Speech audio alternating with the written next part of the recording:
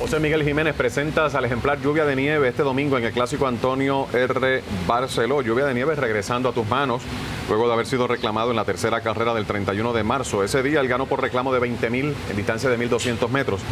Y luego el 21 de abril, ya contigo entrenándolo, eh, terminó tercero a casi siete cuerpos de exclusivo en una milla, en la carrera que fue la previa para él, para este clásico. Eh, ¿Cómo el caballo ha seguido eh, luego de esa más reciente?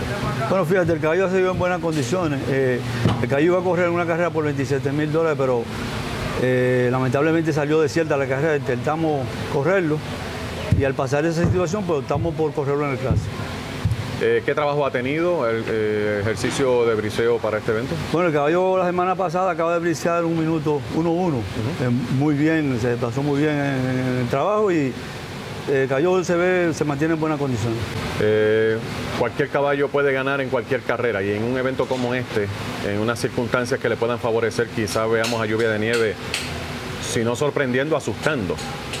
¿Tú lo ves así? Bueno, entiendo que, el caballo, con las condiciones que lo he visto, yo el caballo lo tengo de potro, lo tenía de potro, las condiciones que le he visto, pues eh, me, gusta, me, gusta mucho como él, como él está cómo él está trabajando, sus expresiones, cómo él se siente. ¿Cómo ha respondido? Eh, ha respondido con todo como antes y entonces por eso eh, incliné para que correrlo en el clase.